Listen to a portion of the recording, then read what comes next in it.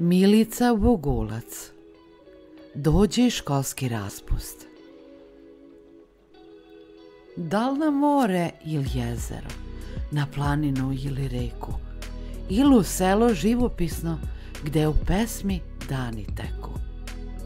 Sve me zove, svud bih hteo, školski odmor već je tu, želeo bih da obiđem svaki kutak zemlju svu. Uživajte u letnjem raspustu.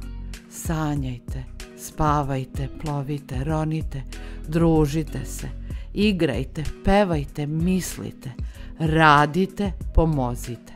Zalijte, uberite, sakupite, donesite, napravite, kupajte se, odmorite, trčite, smejte se i volite.